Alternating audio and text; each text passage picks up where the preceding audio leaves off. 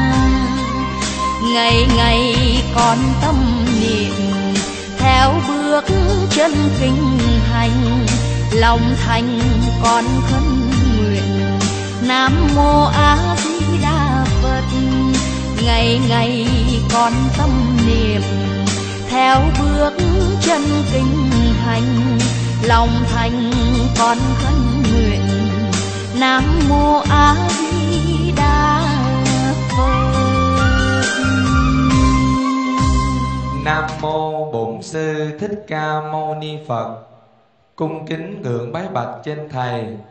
Hôm nay ngày 20 tháng 2 năm Quý Tỵ, hàng thiện nam tín nữ chúng con đồng câu hội về tu viện Tường Văn, phát tâm quy y Tam Bảo để trở thành người Phật tử tại gia, sống theo lời chỉ dạy của Đức Thế Tôn. Và giờ đây đã đến giờ truyền trao tâm quy ngũ giới thành kính cung thỉnh thầy, quan lâm về hội trường, để truyền trao tâm vi ngũ giới cho chúng con được ăn chiêm công đức nam mô quan hỷ tạng bồ tát ma ha tát Nam mô Bổn sư Thích Ca Mâu Ni Phật. Xin thưa tất cả thiện nam tín nữ. Giờ này thì à, các vị chưa chính thức để gọi trở thành Phật tử. Cho nên là thầy gọi thiện nam tín nữ, tức là người con trai lành, người con gái tốt. Và muốn để trở thành một người Phật tử chính thức thì chúng ta phải qua một lần quy y trong cuộc đời. Và vì vậy thầy đã nói trong rất nhiều bài giảng là chọn cuộc đời chúng ta có thể đi chùa ăn chay niệm phật làm phước làm tất cả các công đức lành mà chúng ta chưa bao giờ quy y thì không thể gọi là phật tử mà lúc đó chúng ta chỉ là một người biết tín ngưỡng đạo phật mà thôi. Vì vậy trong xã hội chúng ta thời gian qua có rất nhiều người tín ngưỡng đạo phật. Ở chỗ là gia đình cũng thờ ông bà tổ tiên, cũng thờ phật, cũng thắp nhang, cũng thỉnh thoảng biết đi chùa ăn chay, làm phước gì đó. Nhưng mà khuyên chúng ta quy y thì chúng ta còn ngần ngại và e dè. Vì vậy cho nên, cho dù bất cứ một hình thức nào với lý do gì mà chúng ta chưa quy y thì chúng ta cũng không thể làm một phật tử đúng pháp đối với con người phật pháp được. Cho nên tôi thấy rất là lạ tại sao phần lớn chúng ta là gia đình truyền thống phật giáo mà chúng ta lại ngần ngại không dám quy y. Chúng ta thấy nó cũng lạ, đôi khi chúng tôi đặt cái dấu hỏi này hoài không ra. Và tôi cũng đã chia sẻ và trả lời rất nhiều trong cái trường hợp của tất cả các vị. Nhưng mà trả lời mãi nó vẫn không hết những cái tình huống của tất cả các vị thì hôm nay trong cái buổi lễ à, quy thường kỳ cho tại tu viện chúng ta thật ra mà nói thì à, các chùa ít khi nào ai tổ chức quy y liên tục như thế này lắm. Nhưng mà ở tu viện tường vân mình thì à, tôi tạo điều kiện tốt nhất cho tất cả các vị. Cho nên tôi có những khi tôi nói là trong hoàn cảnh bất đắc dĩ một người tôi cũng quy y nữa. Ngày hôm qua có bốn vị đó xin tôi được quy y liền tôi nói, sáng hôm nay đã tới ngày quy rồi, sao không đợi? Tới ngày hôm nay mình quy tập trung luôn. Cô nói, sáng hôm nay con phải về hồng kông. Ừ. tức là có những lý do mà buộc tôi phải làm, chứ không có cách khác. À. thành ra bây giờ đưa ra mỗi tháng quy một lần, nó có những cái tình huống để mà mình có thể mình làm việc ngoài ý muốn. Cho nên có những lúc tôi phải tự dặn lòng tôi. Vì thật sự với các vị á tôi biết rằng có những việc tôi rất khó làm nhưng mà tôi có suy nghĩ vậy. Có những tôn giáo họ cứ đi á, đi dụ các vị. Cái đi mua chuột đi dụ khỉ đi lợi dụng cái này cái kia thế này thế kia. Mà muốn được một người rất là khó. Trong khi mình là người phật giáo mình là người sống bằng đạo lý từ bi thì tại sao mà có những người tự phát tâm đến đây để xin được quy y mà mình lại không làm? Vì chỗ đó cho nên có những tình huống mà một người tôi vẫn cố gắng để làm. Nhưng mà tôi mong rằng tình huống đó ít thôi. Quan trọng nhất là tập trung như thế này, một người cũng quy y mà một ngàn người cũng làm lễ như thế. Thì quan hỷ các vị tập trung như thế này để hạn chế bớt những thời gian, để còn nhiều công việc khác nữa. Còn những tình huống bất đắc dĩ, ngoài ý muốn một cách là bất khả kháng, thì tôi cũng thể tạo điều kiện tốt nhất để làm lễ quy cho tất cả các vị để trở thành một người đúng pháp. Chọn một cuộc đời của chúng ta chỉ cần quy một lần đúng pháp như này là đủ. Ờ. Chúng ta khỏi cần quy lại bất cứ lý do gì. Có những người uh, hồi nhỏ quy rồi lớn lên rồi uh, không hiểu là hồi nhỏ mình quy như thế nào cho nên là có xin với tôi được quy lại. Thì tôi nói là như thế nào mà nếu đã quy đúng pháp thì đã xem như quy y rồi. Không cần quy lại với bất cứ lý do gì. Nhưng mà các vị không nhớ được hành động của mình như thế nào, thì các vị có thể quay trở lại trong những nơi người ta làm lễ quy y để chúng ta tính giới hay là để nghe, để phát nguyện trở lại thôi chứ không cần quy lại. Và nếu có những người nói, con mặc dầu ngày xưa đã quy rồi nhưng mà con quên rồi, không biết pháp danh là gì, thì cái đó buộc lòng ban tổ chức phải tạo điều kiện tốt nhất là đặt pháp danh lại thôi còn nếu mà chúng ta nhớ cái pháp danh ngày xưa 5 tuổi 10 tuổi chúng ta đây quy y với pháp danh gì đó. Mà bây giờ giấy tờ chúng ta đã bị cháy mất hay là mục hay là chúng ta để lạc ở đâu thì chúng ta cũng có quyền yêu cầu bất cứ chùa nào để cấp giấy lại cho chúng ta. À, nhưng điều duy nhất là cái tên mà ngày xưa chúng ta quy y thì phải giữ lại như những gì chúng ta đã từng làm vì vậy cho nên việc quy y là việc cần và đủ nhưng mà chúng ta phải hiểu ý nghĩa của nó. À, có những người cứ là à, thích ở đâu là cái quy y ở đó. Tức là quy y ở đây rồi cái mơi mốt mà thích ở chỗ kia cái lên chỗ kia quy y rồi mơi mốt thích chỗ nọ đến chỗ nọ quy cái đó làm càng nhiều lại chứng tỏ mình là người không hiểu đạo. Hai nữa những tổ chức mà tổ chức quy y mà biết người ta quy y rồi vẫn khuyên người kêu người ta quy lại hoặc đổi tên của người ta là người đó lại không biết gì cả. À, làm vô tình xúc phạm đến những tổ chức khác những vị thầy khác. Rồi lại thêm một vài tổ chức ở việt nam cũng là tổ chức phật giáo. Tự nhiên người ta quy y rồi bắt người ta quy lại. Với cái tên lấy chung là diệu âm diệu âm diệu âm giàu tên gì cũng bắt người ta như vậy. Đó là làm việc không đúng pháp tôi phải nói thẳng ra là những người làm việc với tính cách lôi kéo về một tổ chức của mình với ý đồ đó lại là cho dù mang cái mát là phật giáo cũng vẫn làm việc không đúng pháp. Và những người làm việc như vậy cần phải bị kiểm điểm lại trong hành động của những người đó. Cho nên chúng ta muốn quy ai trước hết chúng ta hỏi là cô chú anh chị em gì đó đã có quy hay chưa? Nếu đã quy rồi thì không cần quy lại và nếu người ta quy lại với lý do là à giấy tờ mất gì đó, thì mình sẽ nói rằng thì các vị cứ đến đây, ban tổ chức sẽ cấp giấy lại cho các vị, nhưng tên gì thì cứ giữ. Trừ ra người ta không nhớ được tên thì mình phải buộc lòng cho tên mới. Nói chung tùy phương diện mà ứng xử.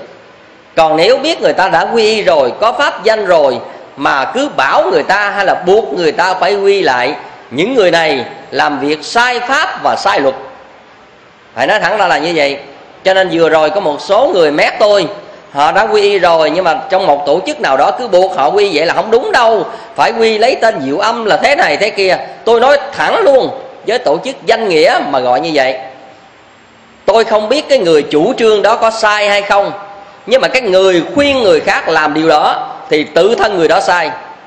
Bất cứ một tổ chức, một cá nhân nào khuyên người khác làm một cách lợt lạc như vậy là sai không đúng luật và không hiểu biết phật pháp và làm vậy vô tình xúc phạm chà đạp lên với những bậc thầy những người khác mà ngài đã từng tổ chức và làm lễ cho phật tử rồi. Và vì vậy tôi nói với các vị quy y là một hình thức cần và đủ cho các vị để trở thành phật tử nhưng đời chúng ta chỉ quy một lần là đủ. À, một lần là đủ. Còn chúng ta có quyền đi thính giới lại nghe quy y lại nhiều lần cái việc đó không sao à, chúng ta thấy ở đâu có quy chúng ta đến đó để chúng ta nghe lại ý nghĩa quy y hay là tính giới lại. Cái việc đó không có gì sai cả. À, cho nên là tôi phân tích ra như vậy để các vị hiểu mà chúng ta giúp cho một số người có những cái nhận thức lệch lạc chưa đúng hay là nó còn cái sự giới hạn nào đó thì các vị nên phân tích để giúp họ hiểu. Xin thưa các vị tôi biết trong đại đa số quần chúng rất yêu thích phật giáo và muốn tu học theo phật giáo. Nhưng mà chỉ có một điều không biết tại sao là phần lớn là các vị ngài quy y. Và nhất là những vị thanh niên trẻ trẻ như đây mà tôi thấy hôm nay đó, là chuyện này chuyện hiếm trong quá khứ, nhưng bây giờ trở nên chuyện thường. Hôm nay trong hội trường này tôi thấy rất nhiều bạn trẻ quy y, đó là một dấu hiệu tốt. Tôi nói thật, mười mười mấy năm về trước, muốn có một nơi quy y như thế này và số lượng trẻ tham dự thế này là chuyện không tưởng. Tôi không biết làm sao mà người ta cứ nghĩ rằng á tôi khi tôi kêu một số người á, kêu các con cỡ năm bảy tuổi 10 tuổi quy đi cỡ này xong dẫn các cháu đến chùa quy y? Từ thở bé thế này để lớn lên 10 tuổi 15 tuổi mình dễ dẫn các con vào đời. Mà hồi đó tôi kêu quy nói không biết nó còn nhỏ không biết quy có sao không nữa thầy? À, tôi nói có sao là có sao có sao là tốt hơn á hả? À, cho nên tôi không hiểu là trước kia tại sao người ta lại có một cái điều suy nghĩ là lạc là con mình còn nhỏ, không biết quy y có sao không? Rồi nào là con cháu mình còn ăn, còn học vậy không biết quy y có sao không? Rồi bản thân mình còn lo việc nhà gia duyên bà ràng buộc quá, không biết quy y có sao không? Mình ít khi nào có dịp đi chùa tụng kinh, không biết quy y rồi có tội không? Vân vân. Rồi chúng ta cứ tạo cái khoảng cách vô tình, yêu thích phật giáo, cũng muốn tu học theo phật pháp mà lại không dám quy y. Có người đi chùa mấy chục năm không có quy y. Tôi nói thật luôn như vậy đó. Có người đi chùa hai, ba chục năm vậy đó, cũng thấy ăn chay niệm phật, cũng thành tâm như bao nhiêu người khác. Hỏi pháp danh gì nó chưa giờ chưa có, hỏi sao vậy? Thôi con dám quy y. Hỏi sao vậy? Quy dưỡng được sợ tội. Ở đây có ai quy dưỡng được sợ tội không? Có vị nào mà do sợ tội, quy sợ dưỡng được sợ tội mà không dám quy? Bữa nay mới mới bắt đầu lọt tọt đi quy không? Có không? Ừ. thầy hỏi ai hôm nay là từ à, 50 tuổi trở lên mới bắt đầu quy trong ngày hôm nay? Các vị đưa tay thầy coi cô nhiêu. 51 Wow cô rất là tuyệt vời á. Nãy giờ thầy nghĩ cô chừng 40 à, Cái này không phải là nói để nói khách sáo. Cô đưa tay lên thầy nghe kỹ là cô nghĩ lộn chứ à, nhưng thật sự 51 tuổi của cô là cô có phước báo á. Thầy không biết mai mốt được 50 tuổi thầy trẻ cỡ cô thầy giờ già háp trước tuổi.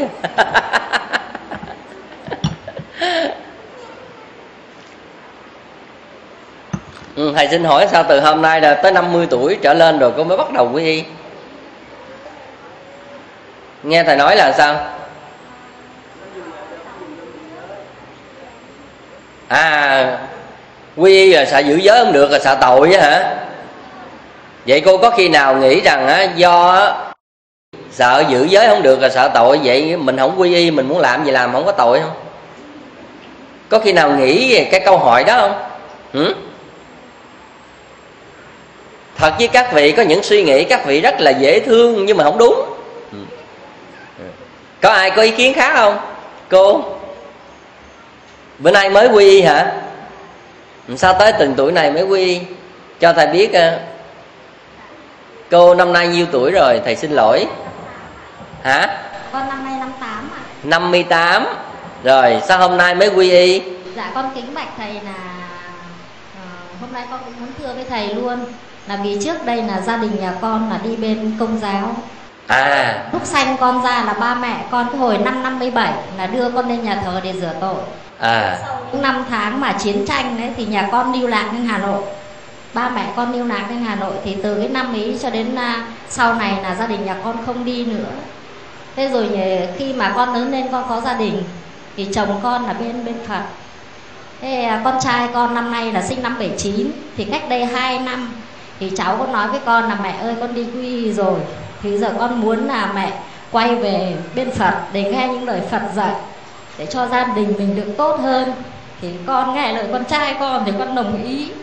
Thế trong những năm tháng mà như vậy thì con cũng đi lên chùa.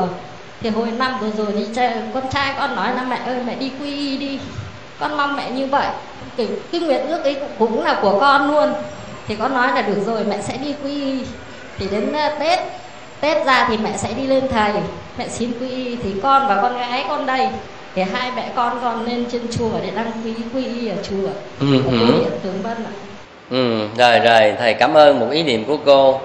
Một ý niệm rất đặc biệt là do gia đình công giáo cho nên là cô ngồi xuống đi. Dạ. Là thành ra đó là không có điều kiện. Rồi sau này do con trai biết quy y rồi về khuyến khích mẹ để nhận ra được điều đó để quy y.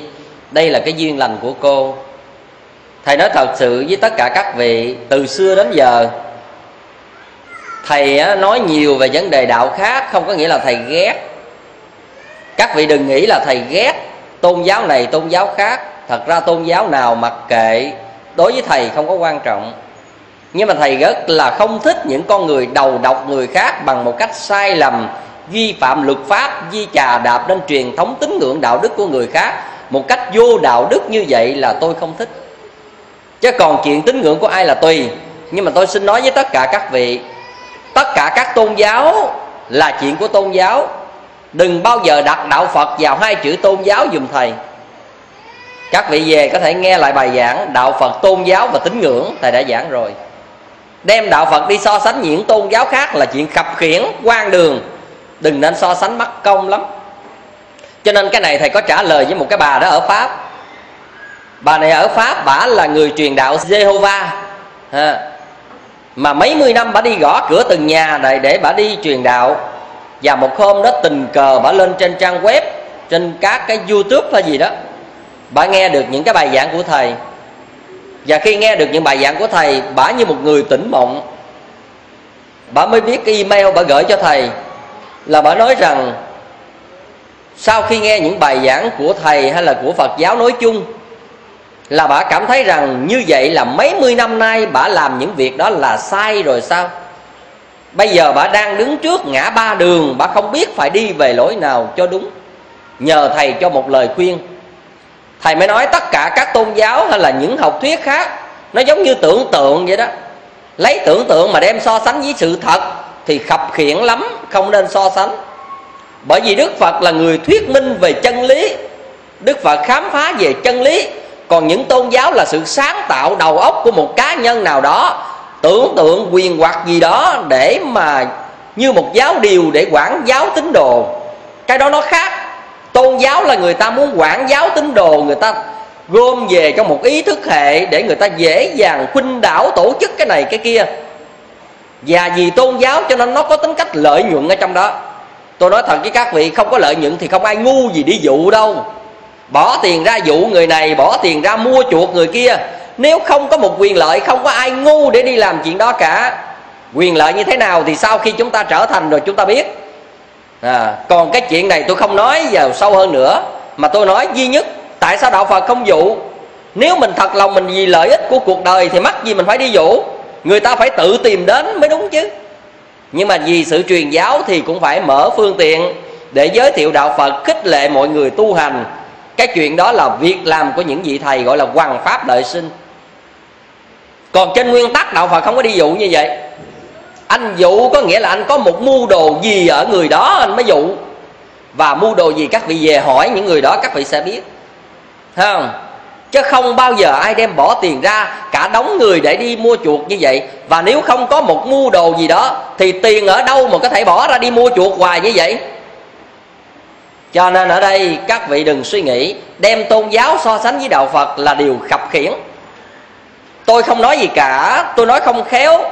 Tôi rất thương những người theo những tôn giáo lệch lạc để trở thành nạn nhân của họ. Tôi cảm thấy thương hơn là tôi thù, tôi không có thù ghét gì ai trơn á. Con người đồng loại, khổ đau hoạn nạn đều có nhau, tôi không bao giờ tôi thù. Nhưng mà tôi rất là tiếc mình đã lệch lạc trở thành nạn nhân như vậy, thì cả một đời sai một ly là đi ngàn dặm.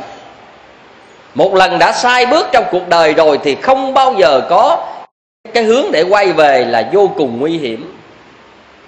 Cho nên thầy nói thật, rất may mắn trong cuộc đời các vị là người học được phật pháp.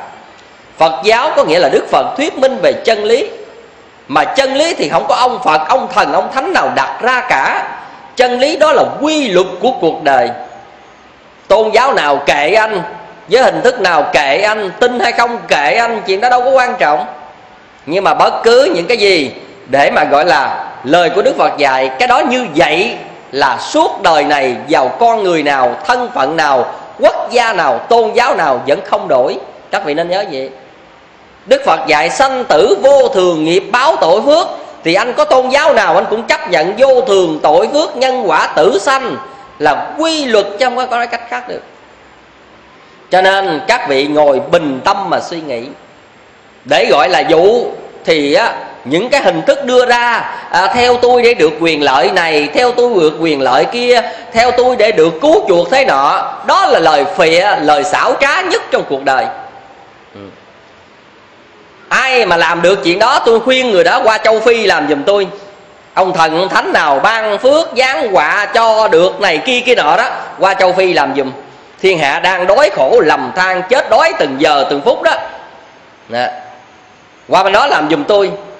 Chứ đừng có mà đi vô vụ những lớp người bình dân. Rồi nói này, nói kia, nó đánh vào lòng tham của chúng ta. Tại vì chúng ta hay tham để được cái này, được cái kia, sợ cái này, mất cái kia.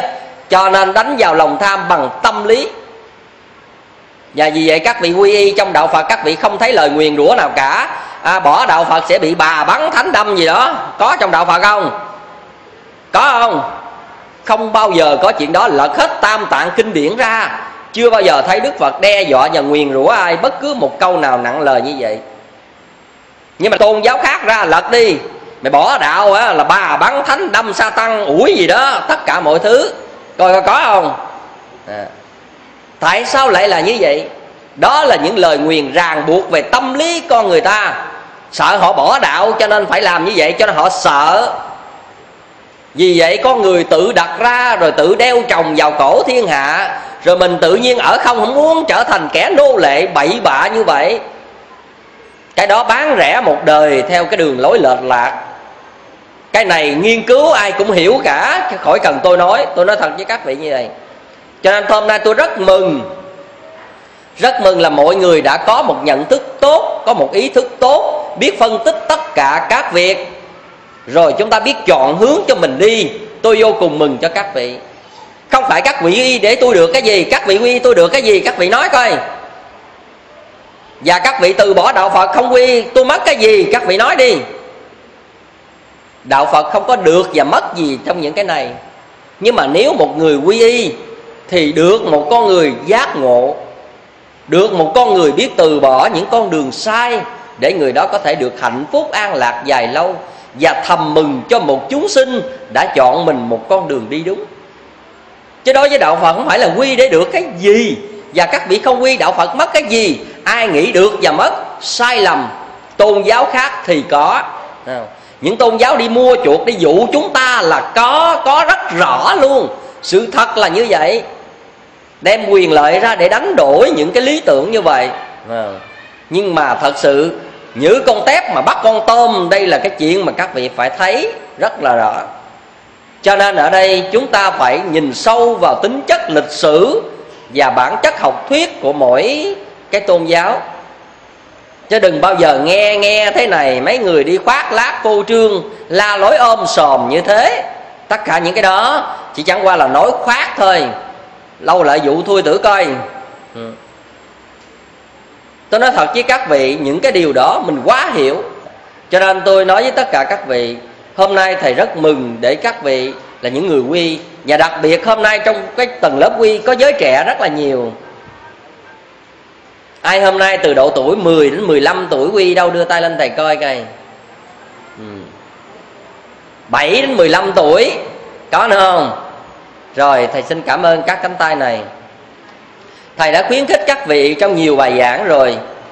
Thầy nói các vị làm cha, làm mẹ, làm anh, làm chị nên dắt con đến chùa từ thở nhỏ quy y.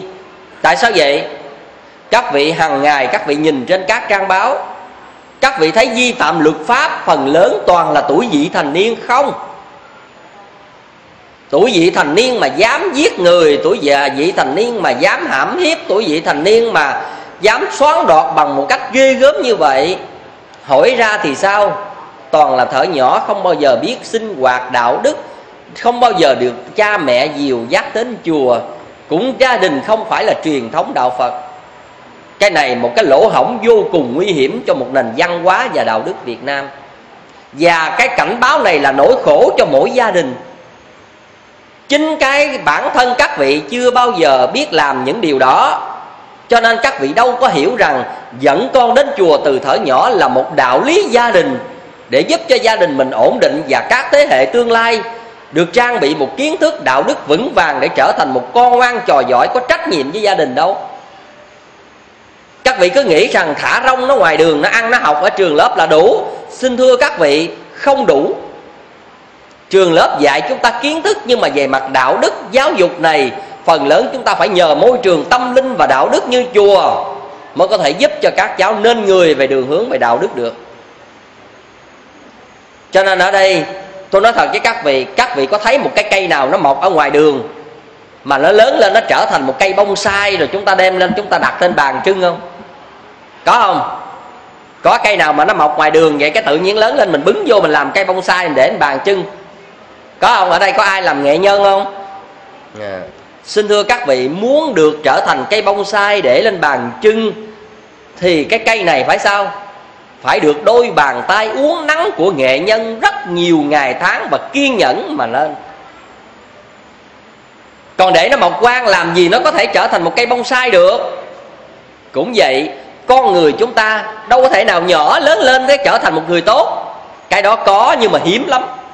Cái bẩm sinh một người nhỏ lớn lên trở thành một người tốt lợi ích cho đạo, cho đời, cho xã hội đó, cái thành phần này bấm trên ngón tay thôi.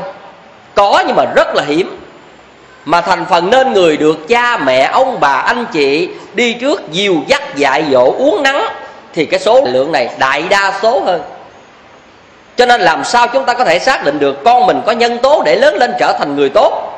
Điều quan trọng nhất là người làm cha, làm mẹ, ông, bà phải biết uống nắng, dạy dỗ, giáo dục và hướng đạo con từ thở nhỏ đó là trách vụ của chúng ta.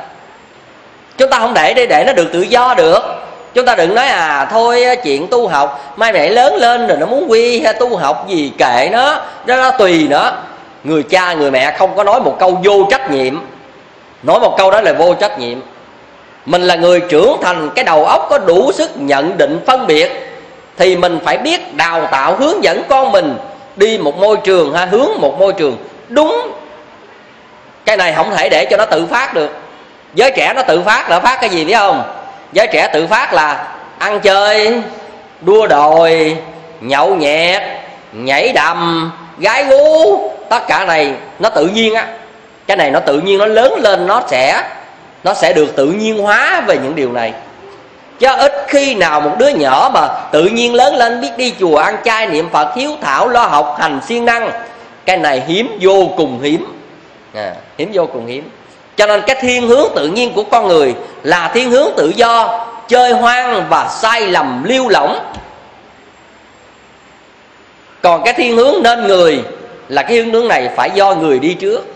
Cha, mẹ, anh chị, ông bà phải có trách nhiệm để gà soát, để hướng dẫn, để mà khích lệ, đôn đốc con cháu mình để trở nên nên người.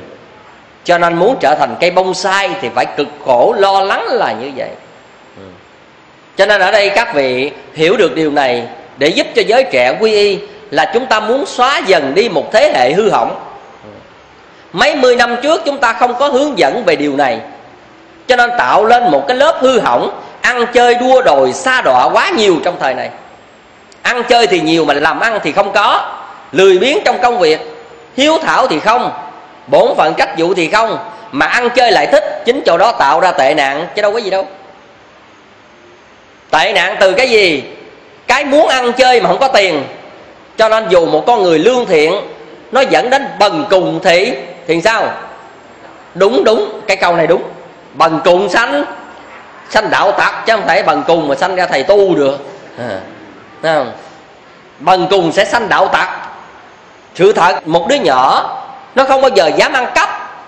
Nhưng mà các vị biết sao không? Nó muốn mua cái này nó chơi nó muốn chơi game, nó muốn ăn nhậu, nó muốn mua cái món đó ăn, nó muốn đi nhảy đầm, nó muốn karaoke. Mà nó không lo làm, nó đâu có tiền. Thành ra những cái động cơ mà khao khát để được tận hưởng những cái đó đó, nó bắt đầu nó nảy ý ra cái cách gì để có tiền.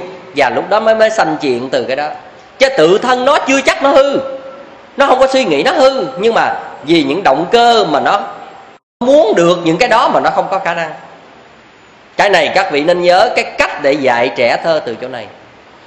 Một đứa cháu nội, một đứa cháu ngoại dám giết bà nội, bà ngoại mình để lấy tiền chơi game. Cái này các vị không thể hình dung. Và tôi nghĩ rằng hai cái đứa này không đơn giản để nó nghĩ ra nó giết bà nội để lấy tiền. Nhưng vì cái lòng ham thích chơi game, mà cái tuổi trẻ là tuổi mê chơi, cho nên mù quáng bất kể chết. Cái động cơ để nó làm lại là đơn giản như thế nếu chúng ta đủ trưởng thành về trí tuệ, mướn chúng ta 10 tỷ đồng tôi còn chưa dám ra tay để giết người thân mình nữa. Chứ đừng có nói, mà trong khi nó có vài trăm ngàn, nó dám làm điều đó, nó vô một thằng đè chân, đè tay một thằng lấy gối, bịch họng. Chết bà nội, bà ngoại nó như vậy, để lấy tiền. Trong khi bà nội, bà ngoại từng cho tiền nó nó mới biết bà nội, bà ngoại nó có tiền. Các vị thấy ghê chưa? Như vậy cái động cơ để dẫn đến cái hành động này vô cùng đáng tiếc như vậy, tại sao chúng ta không hướng đạo con chúng ta từ nhỏ về tội phước, về đạo đức, về nhân quả, về hiếu thảo, về trách vụ, về công việc, về sự nghiệp? Cho nên những người mà đem đứa con con trai, con gái gì mà hư đem đến tôi tôi thiệt tự nhiên tôi lãnh của nợ của thiên hạ về mấy chuyện này. Con cái nó hư rồi dẫn đến tôi. Nhưng mà thư thật, phần lớn tôi khuyên đều thành công tôi khuyên thành công không phải là tôi có bùa, các vị đừng nghĩ tôi xin bùa gì cho nó nha. Các vị đi hết chùa tôi, có một cái chữ bùa nào tôi chết liền á. Tôi nói thật sự với các vị, có những người nghĩ tôi bùa phép gì á, tôi không có bùa vì gì cả. Mà tôi hiểu được tâm lý của giới trẻ, chắc ngày xưa tôi hư hỏng dữ lắm, tôi mới hiểu được tụi nó không? Chính vì chỗ đó, tại sao khi mà giới trẻ phần lớn tôi khuyên cái gì? Tôi hỏi nó đó, ăn chơi đúng hay là sai? Phần lớn không có trả lời được. Tôi nói với nó là, con à ăn chơi không có sai. Ăn chơi nó không có sai. Nếu mình có tiền thì cứ mặc tình mà ăn chơi. Nhưng mà làm gì để có tiền mới là quan trọng. Bây giờ trong độ tuổi của con con không có tiền. Đó vì vậy cho nên đó, ở đây con ăn chơi là từ sự gian dối, từ sự lừa của cha mẹ, mọi thứ này kia để có tiền ăn chơi, thậm chí trở thành kẻ mà gọi là đi làm thuê mướn bậy bạ cho nấy này kia kia nọ để có tiền. Thầy nói với nó là ăn chơi là chuyện cả đời con à. Ăn chơi là chuyện cả đời, có phải vậy không? Già 80 tuổi ăn chơi được không? Được, đâu ai cản đâu, muốn ăn chơi cứ thoải mái, cỡ nào ăn chơi cũng được. Nhưng mà học hành cỡ 80 tuổi, học nổi không? Chắc chắn là không. Cho nên thầy mới nói là ăn chơi là chuyện cả đời. Mai này con có sự nghiệp rồi, con ăn chơi cũng không muộn. Còn học hành là chỉ có những năm đầu của cuộc đời mà con không tận dụng để mà học hành. Để có sự nghiệp thì mai này muốn ăn chơi, lấy tiền đâu mà ăn chơi. Tôi không khuyên nó tu học gì hết á nhưng mà tôi dập nó một hướng là ăn chơi là được đó, nhưng mà phải có sự nghiệp, có tiền và lấy cái đó mà ăn chơi. Tự nhiên nó nhận ra được điều đó. Còn các vị lên lớp dạy nó, mày vậy hư đốn này kia cái nọ, mày thấy học hành này kia cái nọ không? Nói vậy nó không thấy được cái hướng của nó. Mà mình khuyên nó là, dẫn đây là cái lợi ích của chính bản thân nó. Thì nó nhận ra ngay cho nên không bao giờ tôi nguyền rủa ăn chơi là xấu ác này, kia kia nọ hay là tôi chửi bới, tôi lên lớp nó không có đâu. Tôi ngồi, tôi phân tích nó rất nhiều. Con à ăn chơi cái gì cũng được. Muốn nhậu nhẹt, muốn chơi gì đó cũng được. Nhưng mà chuyện đó cả đời độ tuổi nào con làm cũng được. Còn học hành chỉ có mấy mươi năm đầu, sao con không tận dụng? Con học rồi có mảnh bằng đại học trong tay, có sự nghiệp trong tay, có công ăn việc làm trong tay. Con mới có tiền và con mới tự tại trong cái hành động ăn chơi đó còn bây giờ con cứ xè tay con xin hoặc con đi ăn cắp ăn trộm để con có tiền hoặc con gian dối để có tiền ăn chơi. Như vậy cái này nó mong manh quá và nó làm khổ cả một đời của mình. Tự nhiên nó tỉnh ngộ các vị. Tôi nói thẳng ra là như vậy tôi không có lên lớp đạo đức gì về mấy chuyện đó. Mà sự thật có tiền thì cứ ăn chơi thoải mái chứ mắc cái gì. Còn làm việc được có ý nghĩa hay không là một lĩnh vực khác nữa. Mà tôi nói tự thân của các hành động như vậy. À, cho nên ở đây tôi nói là động cơ để có điều kiện ăn chơi không khéo dẫn đến sự hư đốn của con người. Vì vậy ở đây các vị hướng dẫn các con, các cháu đến chùa từ tuổi vị thành niên là điều rất tốt. Khi con nó ý thức cái tội, cái phước có trách vụ trong lòng, nó sẽ thay đổi được cuộc đời của nó. Các vị biết vừa rồi có một cái email mà tôi nói thật, tôi đọc tôi rất là khủng khiếp. Cái một cậu trai này anh ta nói là anh ta thành tâm sám hối dữ lắm rồi và anh ta đang sám hối, đang kỳ chú, đang tụng kinh mỗi ngày để hồi hướng cho tội lỗi của anh ta. Và anh ta nói, thầy ơi, tội này chắc con đọa địa ngục, con chết quá. Các vị biết anh nói là cái gì? Khi kể lại tôi nói là từ nhỏ tới lớn anh có một cái nghiệp là giết thằng lằn. Một ngày bình quân là từ 5 đến 7 con. Giết bằng cách gì phải không? Anh nói là những cái cách mà nêu ra để giết thằng lằn á mình gỡn ốc. Mặc dầu con thằng lằn nó không có lớn. So với những sinh mạng khác gà vịt chó con bọn heo thì nó nhỏ hơn về mặt từ bi. Về mặt nhẫn tâm thì nó nhỏ hơn nhưng mà cái hành động giết lại là rất là ác. À, giết bằng cách gì biết không? Có những khi bắt cái lấy lưỡi lam mà lát từng miếng nha. Kể lại mà nghe gỡ ốc lát từng miếng từng miếng như vậy. Rồi có những khi bắt bon thằng lằn như vậy bắt đầu hơ lên, nhang mũi á, bắt đầu để vô trong khối nhang mũi cho nó ngọt chừng nào nó dãy chết thì thôi à.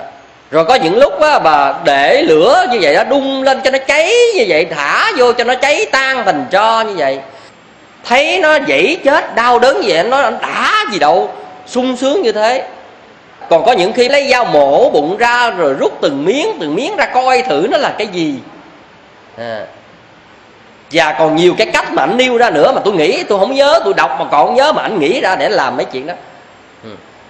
sự thật với các vị và khi mẹ mà nói con à con đừng chơi tàn ác như vậy anh nói những lời đó như một động cơ để mà mà làm cho anh còn chơi hung nữa tại vì mình làm ác như vậy mà có có những người khuyên can đồ này kia kia nọ vậy nó hứng máu lên dữ lắm ừ. và anh nói là một ngày đó anh bị xuất huyết bao tử và đi bệnh viện thì á, mẹ mới nhắc nhở ảnh về cái điều này. Thì anh cũng cảm thấy anh đau trong người. Rồi cái anh cũng thấy cái gì đó nó cũng muốn tìm hiểu về đạo phật. Thì anh mới đọc một quyển kinh gì đó trong đạo phật. Chỉ đọc một lần thôi. Nhưng mà anh thấy ở trong đó đó răng đe dạy dỗ quá anh chán anh mới luyện. Và nói rằng không muốn nghe nghe cái đó nhức đầu quá và cuối cùng tiếp tục với con đường đó nữa. Sau đó bị một trận bệnh kinh hồn. Và những ngày tháng mới ngồi mà nghe, những cái băng đĩa mới cảm thấy tỉnh ngộ từ từ. Và nói là sau đó, ảnh vẫn còn làm là thay vì ngày trước đó làm một ngày năm bảy con, mà bây giờ một tuần làm hai con. À. nó nói cái nghiệp như vậy đó. Nhưng mà sau này rồi á anh thấy hành động đó bắt đầu anh cảm thấy tội lỗi và mới nhìn thấy sự đau khổ của chúng sinh. Rồi cuối cùng anh mới giác ngộ thật sự bằng những bài giảng của quý thầy. Giác ngộ thật sự và anh đã bỏ hẳn luôn rồi, nhưng mà rai rứt lương tâm. Cái lương tâm rai rứt bạn nói là hành động ảnh sẽ bị đọa địa ngục. Tôi nói rằng cái để mà cái ác ý của anh về một chúng sinh thì ác thiệt đó nhưng mà hành động đó để nói đọa địa ngục thì hành động đó so với tội ác, giết gà dịch trâu, chó, bò, heo á, thì chưa bằng về mặt nhân quả. Chưa bằng. Cho nên để gọi là đọa địa ngục thì nó khó. Nhưng mà ác tâm này nếu không dừng lại thì sẽ nhân tố để anh đọa địa ngục là chuyện này không tránh khỏi. Tức là cái ác này nó sẽ được nhân đôi. Hôm nay con thằng lằn, nhưng mà mai mốt sẽ ác với những loại chúng sinh khác và cái ác tâm này nó lớn dần đến độ mà mất nhân tính, thì nhân tố dẫn đến những hành động đưa vào địa ngục là không có tránh khỏi. Cho nên các vị nhớ cái bài giảng tôi giảng là vì sao tôi ăn chay đó. Rồi trong đó thầy có kể một cái anh đó là ảnh giết các cái loài súc vật mà càng đau đớn chừng nào thì càng khoái trá và ăn càng đã chừng đó đó. Bò người ta đang sống như vậy á, không bao giờ thích ăn thịt bò, mà thích ăn thịt sống như vậy đó. Bò đang sống như vậy, lấy cái cái rửa đó phất một cái dứt, banh văng cái đuôi, để lấy cái đó đuôi đó ăn mới đã. Không? tức là làm sao mà chúng sinh nó đau đớn dãy dụa đó. Còn mèo ảnh nó ảnh muốn ăn á, không bao giờ giết ăn là chuyện bình thường. Ảnh nó bỏ con mèo vô bắt đầu múc nước sôi mà chế cho nó rớt từng cụm lông á, mà nó dãy dụa trong lòng đó. Ảnh nó anh khoái chí, anh đã này kia kia nọ. Các vị thấy có những người sung sướng với sự giết ghê gớm thiệt chứ? Nó thật ra mà kể mà nghe rợn người, nhưng mà sau đó giác ngộ được thì quá tuyệt vời, nhưng mà nhìn lại hành động. Tại sao có những người vui thích với sự đau đớn của người khác như vậy? Và nếu người này, tôi nói thật với các vị, nếu nhúng tay vào máu tội lỗi, thì tôi nói thật cũng lấy cái đau khổ của một con người nào đó để làm niềm vui cho mình là tàn nhẫn vô cùng, chứ không phải chuyện bình thường. Nếu không biết dừng lại con người chúng ta cái nghiệp ác nó nhân dần nhân dần. Nó đẩy chúng ta vào con đường sai lầm và đi vào trong nẻo ác là địa ngục. Cho nên á, câu kinh pháp cú các vị có nhớ không? Một câu kinh pháp cú là giống như xét do sắc sinh ra rồi trở lại ăn sắc. Ác nghiệp do người gây ra rồi nó dẫn người đi vào nẻo ác. Câu này đơn giản mà rất hay rất tuyệt vời nếu chúng ta không biết tu tập, chúng ta không biết được mình sai đâu các vị. Tôi nói thật với các vị, trên cuộc đời bao giờ chúng ta vi phạm luật pháp thì chúng ta mới biết mình sai. Còn bình thường chúng ta làm những hành động đó, ông bà tổ tiên tôi cũng làm thế, tôi cũng làm thế, xã hội làm vậy, tôi cũng làm vậy. Tôi sai cái gì? Xin thưa thật, các vị không sai về mặt luật pháp. Nhưng các vị sẽ trả dai với những hành động của các vị một cái cách mà truyền miên. Điều đó là điều đương nhiên cho nên khi các vị học Phật pháp, các vị mới biết cái này sai, cái kia sai. Cũng giống như các vị học y khoa, các vị mới sợ vi vi trùng. Hồi nhỏ các vị rớt cái cục thịt, cục kẹo gì, cái bánh gì dưới đất, các vị bóc lên ăn bình thường không? Bình thường, đâu có sao đâu. Rớt thảy đất rồi cũng lượm lên, thổi thổi, ăn vậy đâu nghĩ gì đâu. Nhưng mà bây giờ cái tuổi ý thức được vi trùng nè, rớt một cái gì xuống đất muốn ăn phải đi rửa hoặc là thế này, thậm chí bỏ trong không dám ăn, sợ vi trùng cái tuổi nhỏ không có sợ vi trùng mà tiếc miếng ăn thôi. Đó. còn lớn lên ý thức sợ vi trùng thì chúng ta không bao giờ ăn như thế. Cũng vậy, người chưa biết phật pháp đi vào con đường tội lỗi sai lầm. Nhưng mà sự thật ra, đi vào sai lầm mà không biết mình sai lầm. Cho nên khi học phật mình mới nhận ra à cái này mình sai à cái này mình sai, cái kia mình sai. Làm được bao nhiêu điều theo lời phật dạy thì tùy hoàn cảnh khả năng của các vị nhưng trước mắt hãy nhận ra cái đúng sai tội phước theo lời phật dạy cái đã. Rồi từ từ làm được bao nhiêu, tốt bấy nhiêu, hoặc hạn chế bao nhiêu thì tốt cho cuộc đời mình bấy nhiêu. Nên nhớ là như vậy.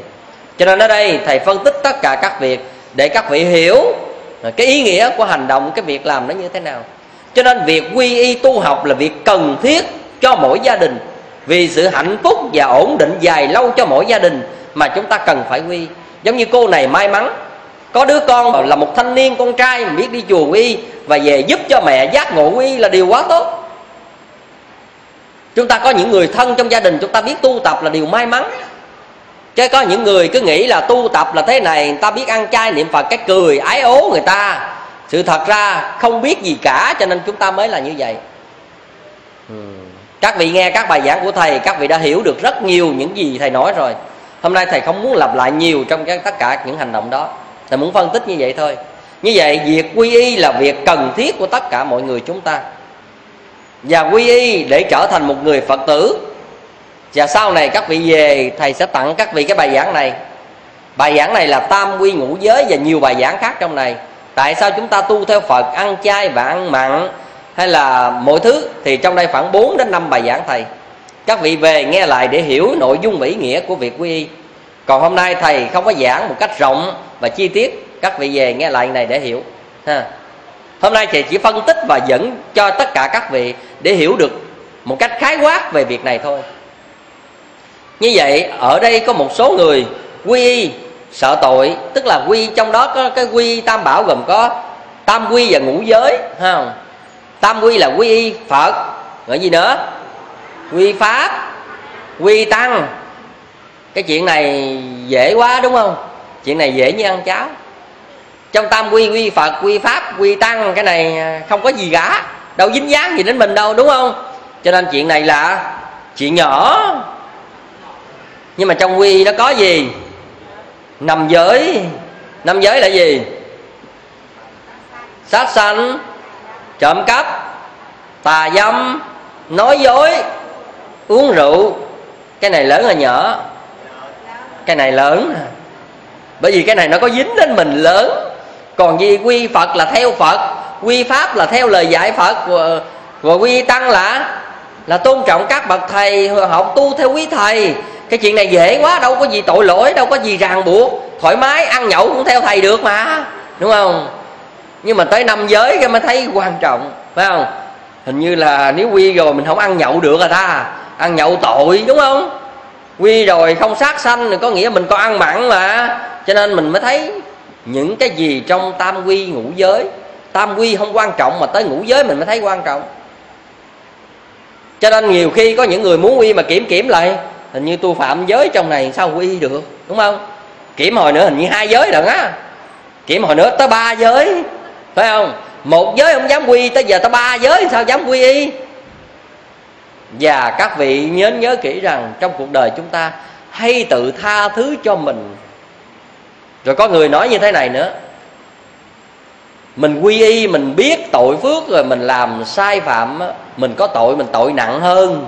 Thà không quy y, lỡ làm tội tội nhẹ hơn. Có không? Chúng ta tìm mọi cách để chúng ta bào chữa cho chính mình. Ừ. nhưng mà sự thật thầy nói với các vị chân lý không lệ thuộc vào sự bào chữa của bất cứ một ai về điều đó. Cho nên thầy phân tích hai cái này để các vị thấy. Có người nghĩ là quy y dưỡng được sợ tội, thì giống như nãy thầy nói, hỏi cái cô này, quy dưỡng được sợ tội vậy những người không quy muốn làm gì làm không có tội. Và nếu sự thật quy y làm điều đó có tội mà không quy y muốn làm gì làm không có tội, dạy gì đi tu? Ở ngoài đâm heo thuốc chó sống tự cho ông sướng sao tự nhiên đi vô đi tu, để này tội kia tội nọ tội. Các vị có hiểu ý này không?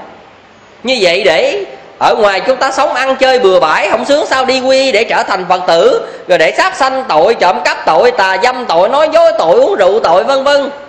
Các vị mới cảm thấy rằng, nếu như vậy, chẳng khác nào đi học tu bị thiệt thòi, có phải vậy không? Không học tu thôi, học tu thiệt thòi cái gì cũng có tội thiệt thòi nó ngoài nó không tội nè. Cho nên ở đây các vị phải hiểu một cách đúng nghĩa. Tội phước không phải do đức phật đặt ra. Tôi đã từng nói trong các bài giảng, tôi nói với các vị, tội phước mà nếu do đức phật đặt ra cho người phật tử, thì tôi nói là đức phật là người không có từ bi và không có trí tuệ gì cả. Nếu đức phật có từ bi, có trí tuệ, tại sao văn bảy cho đệ tử mình nó nhảy à? Theo phật cái này tội kia tội tội nọ. Vậy thôi tôi đâu có theo phật làm gì đâu. À, cho nên cái này các vị phải hiểu. Đức phật giác ngộ được điều này. Giác ngộ được. Sát sanh trộm cắp tà dâm nói dối uống rượu. Cái quan trái của tự thân đời người nó phải trả dai một cách sòng phẳng với những hành động này chứ còn cái chuyện mà anh đạo nào kệ anh tin hay không kệ anh anh à, đứng ở cửa chùa anh chửi phật giáo từ sáng tới chiều kệ anh cái điều đó quan trọng. Nhưng mà tất cả những điều này anh vi phạm tới anh sẽ trả dai một cách sòng phẳng. Giống như lửa nó vốn nóng. Rồi chúng ta thấy đường chúng ta biết nó là lửa nó vốn nóng. Chúng ta đụng vào thì sao? Phải không phỏng vậy người đuôi không thấy đường không biết lửa nóng và không biết đó là cục lửa vô tình bốc phải sao? Hả? Chứ không phải nó mát như nước đá à, à. cho nên các vị biết rằng lửa nó vốn là nóng. Biết hay không là việc của chúng ta. Ai đụng vào là là phỏng là nóng. Tội phước cũng thế tội phước là quy lực không lệ thuộc anh biết tội hay không tội anh là phật tử hay không anh đụng vào hành động đó anh sẽ trả dai một cách sòng phẳng. Đây là quy luật. Các vị hiểu được, tuyệt vời trong lời phật dạy là ở chỗ này. Chứ đừng có nói để đi đem so sánh tôn giáo như giáo điều. Chuyện đó tầm thường lắm. Đừng có đem đi so sánh mắc công, khập khiển mà không có ý nghĩa gì. À. cho nên ở đây tôi muốn nói với các vị, vì vậy cho nên các vị đừng nghĩ rằng chúng ta quy y rồi biết tội phước, chúng ta làm đó có tội hơn những người không biết, sai lầm có thể nhờ chúng ta quy y mà chúng ta đỡ tội hơn những người không quy y. Bây giờ tôi nói với các vị nè, cái người biết đúng sai tội phước mà lỡ làm tội á, trong lòng họ ăn năn và họ tìm cách hạn chế hành động đó, dù ít hay nhiều, thì chính chỗ đó cái nhân quả nó đến á, nó sẽ bị hạn chế hơn là một con người mà gọi là cố hành động.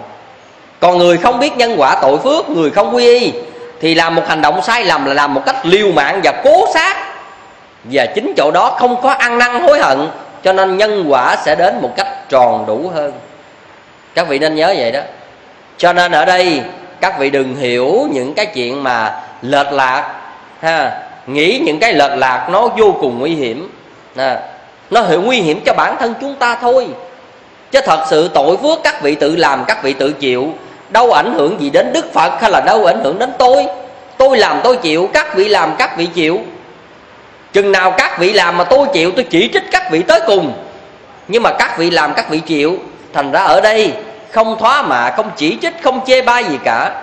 Đức phật chỉ phân tích cái gì đúng, sai, phải, trái, tội phước, nhìn theo bằng cái trí tuệ giác ngộ của một con người như vậy. Và đức phật đã truyền dạy lại cho chúng ta.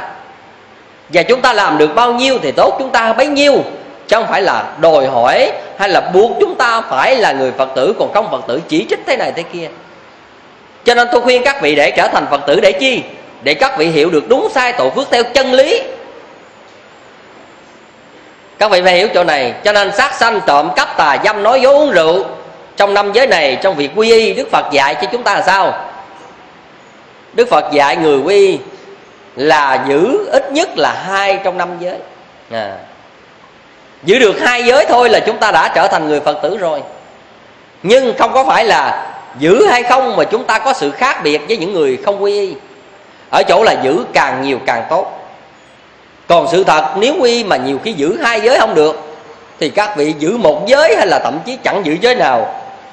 Nhưng nếu biết quy y vẫn tốt hơn, vì mình biết được đúng sai tội phước, rồi trong cuộc đời, việc làm hôm nay chưa được, mai làm, mai chưa được 5 năm nữa 10 năm nữa làm. Nhưng mà tôi biết rằng khi các vị đến chùa quy y, tôi chắc chắn các vị, ít nhất các vị cũng đã tự dặn lòng, có khả năng giữ được ít nhất là hai giới trở lên rồi chứ không có tệ đâu. Và ai ở trong hội trường này giữ được khả năng hai giới trở lên đâu? Đưa tay lên thầy coi vậy là những người không đưa tay là không được giới nào hả? Hả? Cảm ơn các vị. Vậy ai trong hội trường này chỉ có khả năng giữ được một giới đâu? Đưa tay lên tôi coi chân thành cảm ơn các vị. Ừ. Tôi tin tưởng rằng trước khi các vị đến chùa quy, các vị cũng đã tự xét nét mình dữ lắm rồi. Nếu các vị hiểu như hôm nay thì không có gì để nói. Nhưng mà các vị do dự là các vị đã tự xét nét. À, coi là sát sanh là trộm cắp mà tà dâm, nói dối uống rượu à, đầu kiểm lại coi mình có thể làm được giới nào. Và trong đây cái giới nào chưa được? Bắt đầu ngồi cộng trừ nhân chia đắn đo suy nghĩ ha. Sao giờ quy có nên không? Rồi vậy chuyện đó gì ha? Đầu ngồi, bắt đầu đấu tranh tư tưởng, bắt đầu dữ lắm mới có mặt ngày hôm nay à. Ừ. phải không? Chắc chắn như vậy. Suy nghĩ đắn đo dữ lắm mới đến hết chùa quy.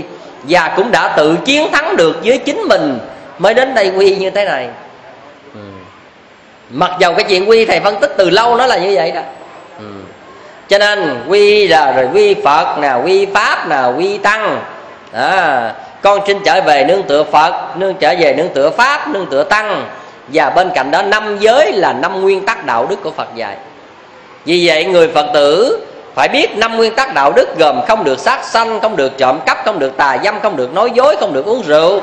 Thì tất cả những cái này các vị cần giữ gìn và hạn chế tối đa. Được bao nhiêu tốt cho nhìn bấy nhiêu có những giới chúng ta giữ hôm nay không được thì mai giữ, mai chưa giữ được 5 năm nữa 10 năm nữa giữ. Nhưng mà nhớ kỹ, hành động nào sẽ trả dai hành động đó.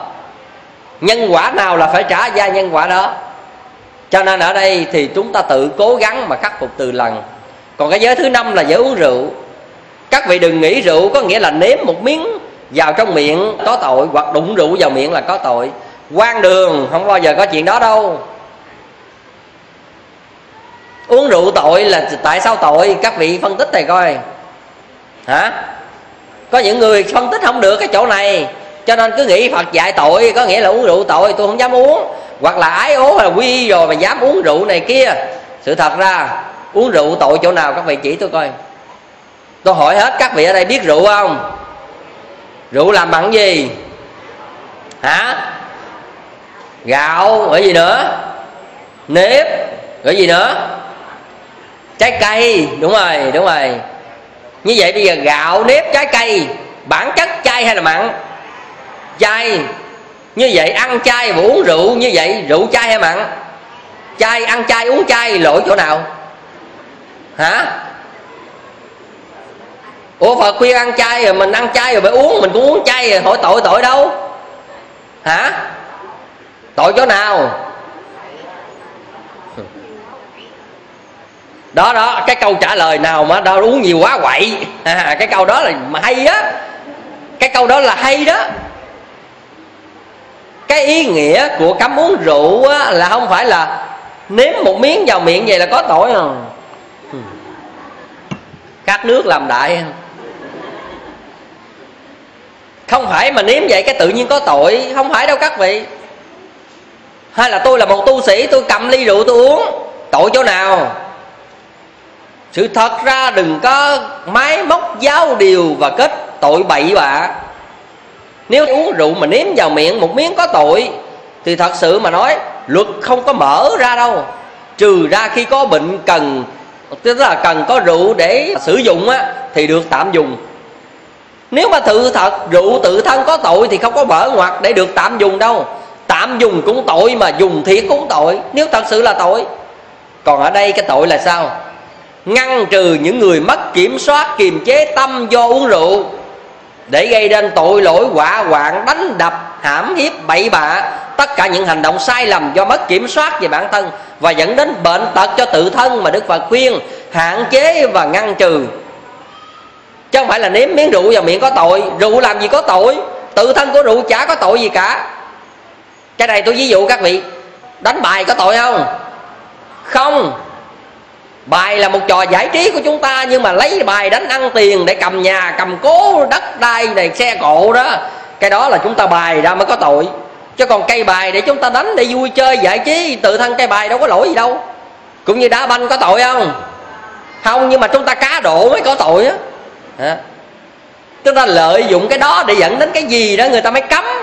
Chứ còn sự thật với các vị, cho nên rượu tự thân của nó không có tội nhưng mà nếu chúng ta uống quá liều hoặc chúng ta mất kiểm soát hoặc là con người chúng ta bị sai xỉn để mất cái nhân cách của con người của mình, cái này là phật ngăn là ngăn cái ý nghĩa đó đó.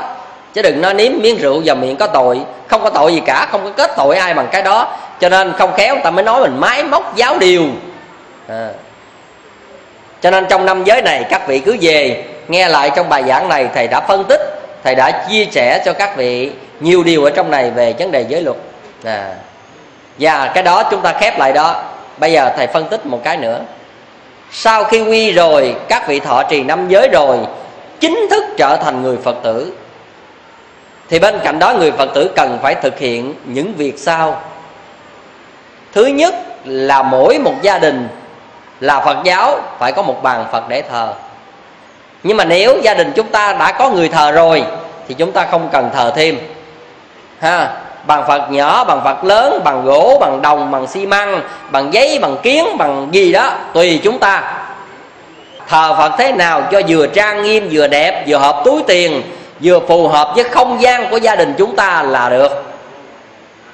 À, cái nói đó tùy cái mắt thẩm mỹ của chúng ta. Ừ. và thứ hai nữa mỗi tháng ít nhất là ăn chay hai ngày.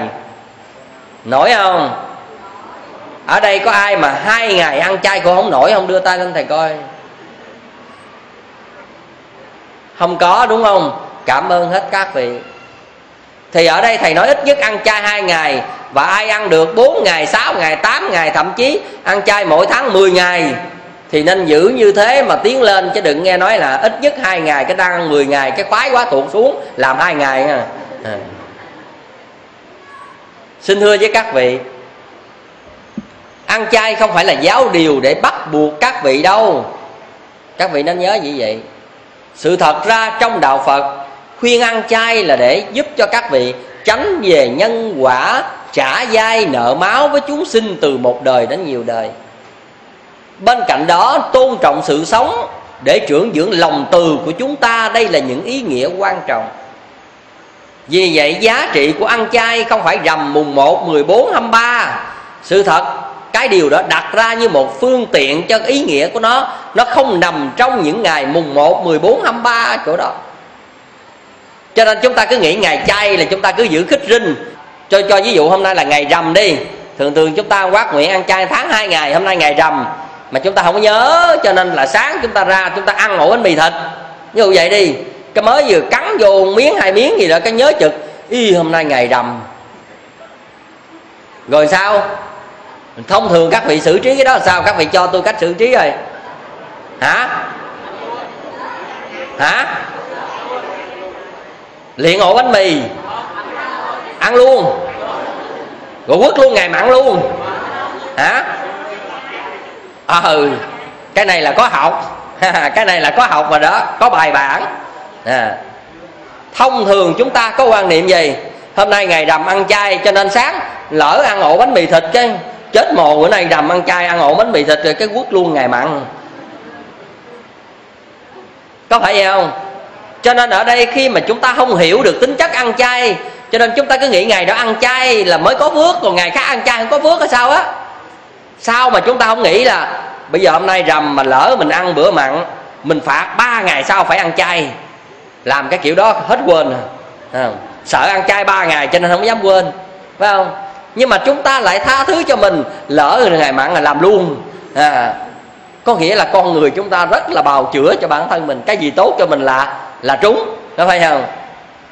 Thành ra ở đây các vị hiểu rằm mùng một ăn chay cái ngày đó chỉ là phương tiện thôi.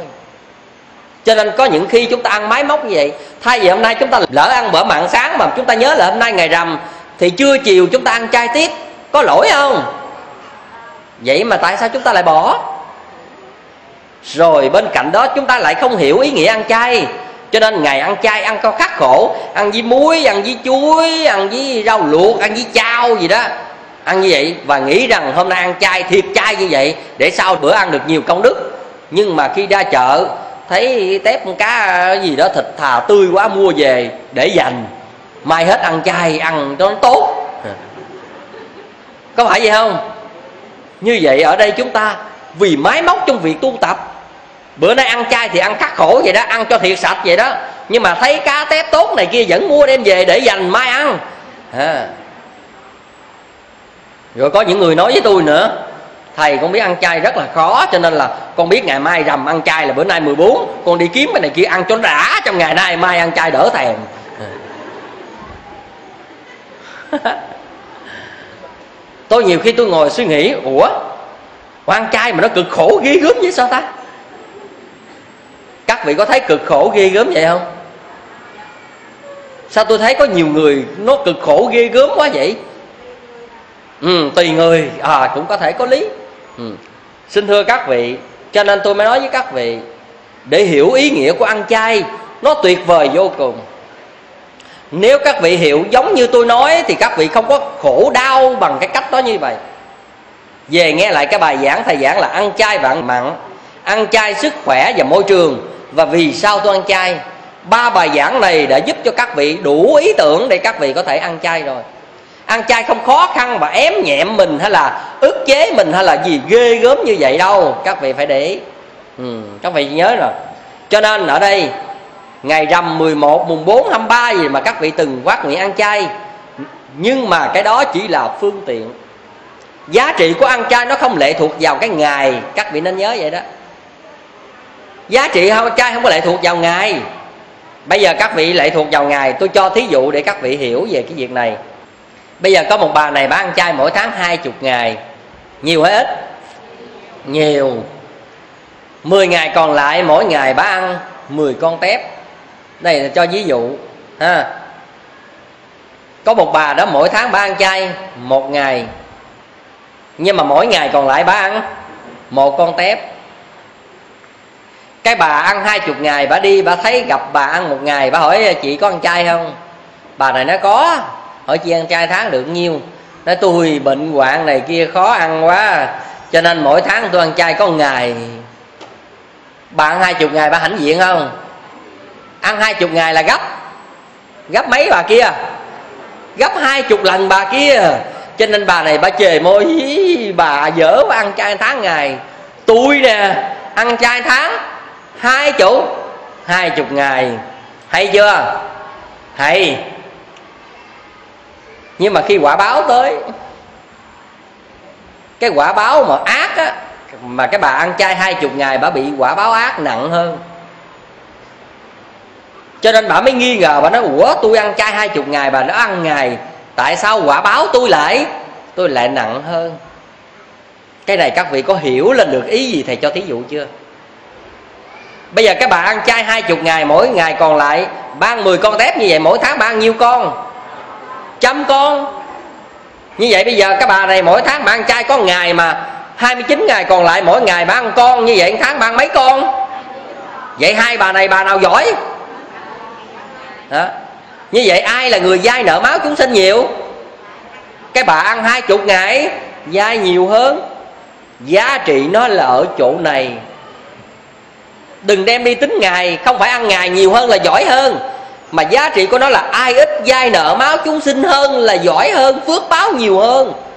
Cái chỗ này mà các vị không hiểu ra, cái lý của đạo phật đâu có khuyên các vị bậy bạ vậy cho nên có những người ăn chay ăn cho khắc khổ ăn với chuối ăn với muối này kia kia nọ tưởng tượng sau bữa ăn cực khổ đó để mình được nhiều công đức. Cái đó sai lầm. Các vị đừng có những cái tư tưởng sai lầm như vậy. Yeah. cho nên ở đây tôi khuyên các vị ăn chay là sao? Các vị tu hành là làm sao? Các vị tự giảm lượng thịt cá từng trong bữa ăn của mình là ăn chay. Thay vì mình chưa biết nhân quả tội phước mỗi một ngày mình ăn nửa ký thịt nửa ký cá gì cho gia đình đó bây giờ biết được nhân quả tội phước rồi, còn chừng 400 gram thôi. Rồi nhân quả tội phước mình tăng cường rau lên, còn 300 gram 200 gram. Tức là chúng ta tự giảm dần trong bữa ăn.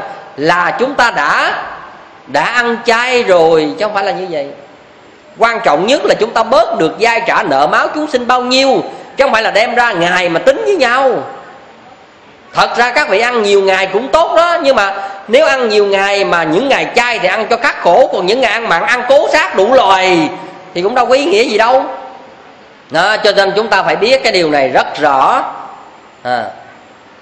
cho nên chúng ta đừng có quan niệm ăn chay là phải trong thiệt sạch như vậy để nhiều công đức.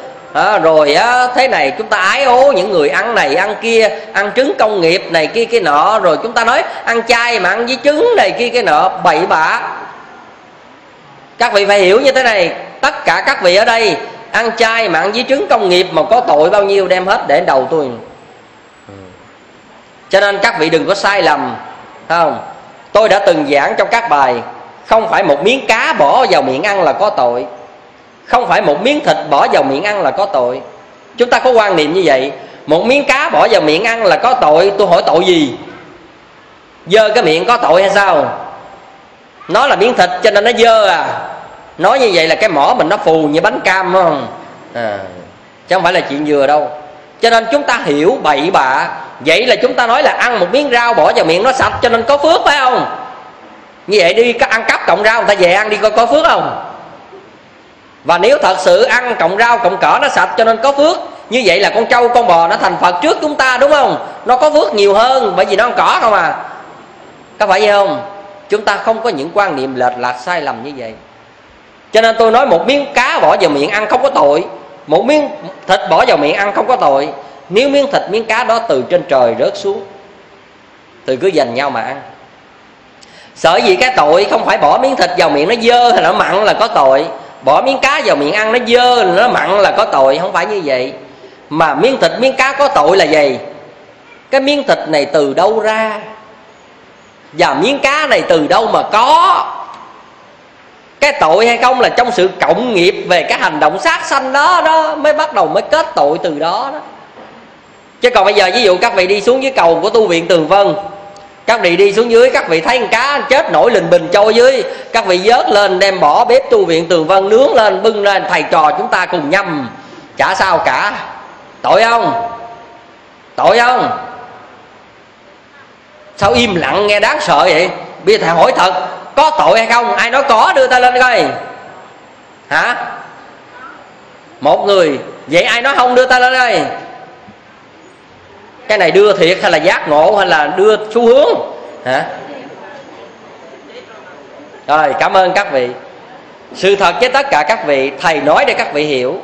Không phải một miếng thịt bỏ vào miệng ăn là có tội, là một miếng cá bỏ vào ăn là có tội đâu nếu miếng cá miếng thịt đó mà từ con vật chết thì chả có lý nghĩa gì để gọi là có tội cả. Mà tự chết chứ không phải là chúng ta thuốc nó chết rồi chúng ta ăn nó không tội nha. À, cái đó nó khác à. Cho nên ở đây các vị biết rằng một miếng thịt miếng cá là một sự cộng nghiệp từ sự sát sanh nào đó mới có một miếng ăn này bắt đầu cái tội hay không từ sự cộng nghiệp đó.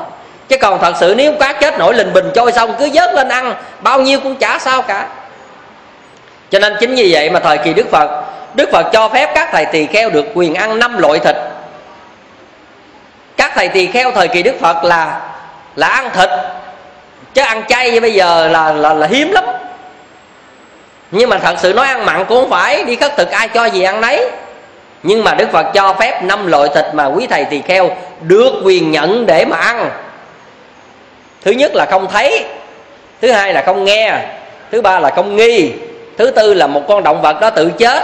Và thứ năm là con vật này ăn con vật kia còn thừa. Thì năm loại thịt này đức phật cho các thầy tỳ kheo được quyền ăn mà không có tội, gọi là tịnh thực. Tức là thực phẩm thanh tịnh.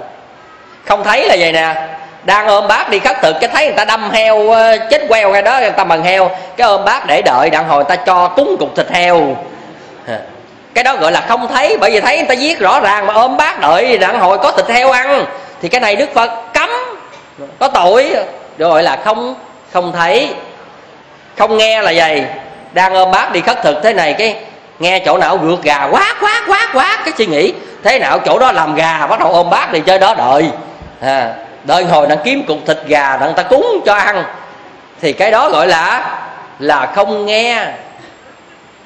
Và thứ ba là không nghi là gì ôm bác đi khất thực mà đến đó người ta chuẩn bị một cái cục thịt heo tổ bố thế này ngon lành. Bắt đầu trong lòng mình nghĩ là chắc là họ biết hôm nay có quý thầy đến đây khất thực. Họ mới làm thịt ngon và họ để dành cúng dường cho quý thầy. Như vậy nghi mà họ chuẩn bị sẵn để cúng dường cho mấy thầy là dứt khoát không nhận. Cái này là gọi là không thấy không nghe và không nghi. Hiểu không? À, phải phân tích vậy nữa không hiểu thì thôi luôn á. À, xin thưa các vị và chính vì vậy cho nên á, quý thầy tỳ kheo, ôm bác đi khất thực là gì khất thực là một miếng ăn được cúng dường một cách rất tự nhiên. Ví dụ người ta đang ăn cơm vậy đó, ta mần heo mần bò mần gà mần vịt gì đó không biết. Nhưng mà tự nhiên ta đang ăn cơm cái ta thấy ông thầy đi ngang khất thực. Cái tự nhiên ta dành lại cục thịt, miếng cơm cái ta đem ra người ta cúng dường. Cái này nhận cái này là hoàn toàn người ta không có chuẩn bị sẵn để cúng dường mình. Mình cũng không nghe chúng sinh chết mà mình cũng không thấy cái hành động giác sanh của người đó, mà hoàn toàn sự chia sẻ mang một cách rất tự nhiên. Hành động này được quyền thọ nhận. Mình đi khất thực, mình ăn là như vậy. Cho nên các vị phải hiểu cái việc mà đức phật dạy rất tuyệt vời, chứ không có máy móc đâu, để trưởng dưỡng lòng từ của những thầy tỳ kheo. Và ít nhất là ngăn đón được chúng ta cái tâm vọng cầu, ham ăn uống. Đó. còn cái thứ tư là gì? Động vật nó tự chết quý thầy tỳ kheo được quyền ăn. Và thứ năm nữa là con vật này nó ăn con vật kia còn thừa. Và thịt đó được quyền ăn. Năm loại này đức phật cho đó là đó là tịnh thực. Ừ. còn hôm nay thì chúng ta ăn chay là đúng rồi, bởi vì hôm nay tất cả mọi thực phẩm mà có được không hoàn toàn tự nhiên như vậy. Tất cả quần chúng đều ý thức được cái việc ăn chay của mọi người rồi. Cho nên phần lớn chúng ta đi khất thực là họ cúng chay chứ không bao giờ họ cúng thịt bao giờ. Tôi chắc chắn luôn hôm nay một ông thầy đi ra mà khất thực không bao giờ ai xách cục thịt bỏ vô cái bát cúng bao giờ. Ừ. cho nên ở đây các vị nên nhớ là những cái việc này nó rất là rõ ràng như vậy. Chúng ta phải hiểu rất rõ trong cái máy móc. Và tội này không phải do đức phật đặt. Có những tôn giáo nói là vật dưỡng nhân hay là thượng đế họ sinh ra các loài vật để cho chúng ta ăn. Cái đó là láo nhất trên cuộc đời không bao giờ có những cái chuyện mà quan đường như vậy. Nếu mà thượng đế sinh ra để cho chúng ta có thực phẩm để ăn từ những loài động vật á, thì nói vậy nè, cái này mới đúng nè. Gà vịt, heo, bò gì đó, nó tới lứa mà nó ăn được đó, cái nó mới đi bò bò lại gần chúng ta. Nó mới đưa cái cổ vô, nó né chủ. Nè, tôi tới lứa rồi, cắt cổ tôi đi. Đó, cái đó đó mới thượng đế sinh ra cho chúng ta ăn đó. Cái đó tôi đồng ý là thượng đế sinh ra nhưng mà các vị muốn ăn được con gà, các vị phải làm gì? Các vị phải rượt đuổi chấn áp, các vị bắt, các vị trói nó, các vị cắt rồi các vị hại nó ghê gớm lắm, nó mới chết mà nó la lối um sùm cho các vị bắt nó nó cười hà hà. Có không? Nó la quát quát là nó sợ hãi, nó la chứ đâu phải là chuyện mà tự nhiên đâu. Các vị muốn ăn được nó, các vị phải đủ sức mạnh và khôn ngoan các vị đè nén nó bắt các vị được ăn chứ. Các vị thử bắt coi được con cá coi các vị đập đầu con cá rồi là các vị là từng bằng cá, các vị bắt nó ra khỏi nước thôi.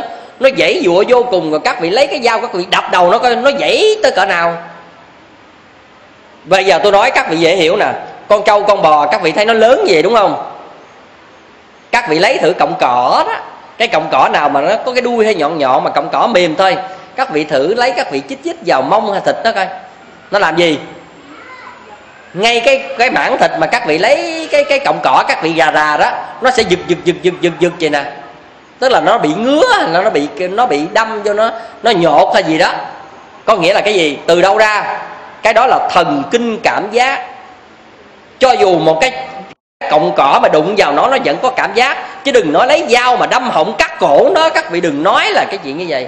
Các vị đủ khôn ngoan, các vị ăn, các vị không vi phạm luật pháp, các vị cứ ăn cái việc đó không có ai mà bắt bỏ tù các vị và không ai nói các vị sai trái cả.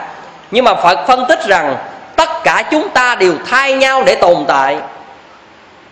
Một cái lần gạch nó, một lần chày xước, một cái gì đó, nó đau cũng y như chúng ta, chẳng qua nó không có ngôn ngữ mà thôi. Chúng ta nên nhớ là như vậy. Chúng ta lấy cái kim, chúng ta chích vào thịt, chúng ta đau thế nào, chúng ta chích vào loài động vật, nó cũng đau y chang như vậy cho nên chúng ta đừng có nghĩ những cái gì vậy. Thần kinh cảm giác về mặt tiếp xúc, tác động của cái khác vào là giống nhau. Vui, buồn, hạnh phúc, khổ đau giống nhau. Ừ. Chỉ có điều là trí tuệ nó không bằng chúng ta, nó không có ngôn ngữ như chúng ta, nó không nói được những lời gian sinh, nhưng mà thậm chí có những chúng sinh nó biết nó chết, nó khóc nha các vị. Tôi có hướng dẫn các vị coi là cái con bò tại đài loan mà nó sắp chết mà nó hai hàng nước mắt nó rơi đó. Biết chết sợ hãi chứ cho nên ở đây các vị đừng nghĩ rằng chúng ta làm không vi phạm luật pháp, cứ làm nhưng người học phật, phải biết rất rõ về cái điều này. Cho nên ở đây, chúng ta ăn chay là cách trưởng dưỡng lòng từ và tôn trọng sự sống của chúng sinh. Và chúng ta nên nhớ, thân phận nào chúng ta cũng từng tái sanh vào loài đó, gà vịt, heo, chó, trâu, bò, chúng ta chưa bao giờ chúng ta thoát khỏi. Nhưng mà quan trái cuộc đời chúng ta từng nuôi bao nhiêu loài chúng sinh, nó dai chúng ta rồi nó trả chúng ta rồi chúng ta trả nó, trả qua, trả lại. Tức là thay nhau từng lớp người mà nuôi nhau để tồn tại trên cuộc đời này. Không đúng sai lỗi phải gì cả. Và khi chúng ta nhận được quan trái đó đời đời kiếp kiếp, thì bây giờ chúng ta ngừng ăn mặn, ăn chay và tránh sát sanh để chi vậy? Để chúng ta không còn dai trả với nhau nữa. Vậy thôi chứ không có gì cả. Chúng ta ăn chay chỉ có điều là chúng ta không muốn dai nữa, không muốn trả nữa. Cho nên chúng ta không dai chứ không phải là ăn chay ờ, sợ tội gì đó là gì tôn giáo, mấy chuyện đó, chuyện nhỏ. Tôi nói thẳng ra là các vị là như vậy. Mà bằng lòng từ bi, bằng sự nhận thức quan trái, nợ máu của chúng sinh là điều quan trọng. Chứ còn ăn là gì tôn giáo, để sao bữa ăn được nhiều phước, ăn chay được phước à tôi nói thật với các vị, ăn chay chả có phước gì cả. Các vị nghe lại cái bài giảng tôi giải phóng sanh cách thức ban tặng sự sống, tôi có nói là ăn chay không có phước. Các vị nói ăn chay có phước không? Có không? Ăn chay không có phước. Nhưng mà chỉ có điều là không có tội thôi. Còn ăn mặn tự thân là là dầu một con tép cũng vẫn có tội với một con tép. Vẫn có một nhân quả với một con tép. Còn ăn chay là không có phước, mà chỉ có điều không có tội, dừng lại hành động, ác lại thôi. Nhưng mà muốn có phước thì phải phải phóng sanh bắt bắt đầu mới có phước. Tức là phải làm cái gì đó mới có phước. Còn ăn chay cũng là ăn bình thường, ăn mặn cũng là ăn. Nhưng mà ăn chay bình thường, vô thưởng vô phạt, không phước, không tội gì cả. Còn ăn mặn, tự thân tương con tép mà làm muốn miếng tội hay là cái gì đó, một sự cộng nghiệp nào đó là đương nhiên. Cho nên tôi khuyên với các vị, sau khi các vị quy học tu rồi, các vị hiểu được cái lý của nó rồi, các vị tự giảm dần lượng thịt cá trong mỗi bữa ăn chứ đừng có máy móc, ngày không có quan trọng. Đối với tôi là ngày không có quan trọng. Giảm nhiều bao nhiêu, tốt bấy nhiêu. Cho nên tôi khuyên phần lớn các vị quy rồi, các vị cố mà ăn chay trường. Sợ không? Ở đây ai phát nguyện ăn chay trường kể từ ngày hôm nay đưa tay lên thầy coi? Một người, hai người, ba người, bốn người, ít vậy? Tôi muốn cả hội trường này đưa tay để phát nguyện chay trường. Dám không? Đưa tay lên coi nếu mà tôi dẫn các vị đến tội lỗi, tôi nói là cái gì tôi phải có cái cách chứ. Không tốt hơn thì thôi chứ không bao giờ có tội. Các vị hôm nay tôi chỉ cách các vị. Sau khi hôm nay quy về, các vị cứ phát nguyện ăn chay trường cho tôi. Ngày nào trường không nổi thì bò. Được không? Cái này có bộ có lý đúng không? Ừ. chứ bây giờ các vị cái giá ăn chay tháng 10 ngày 15 ngày 6 ngày 8 ngày chuyện nhỏ không có gì để cái quan trọng hết á. Nhưng mà chúng ta phát nguyện ăn chay trường rất là hay.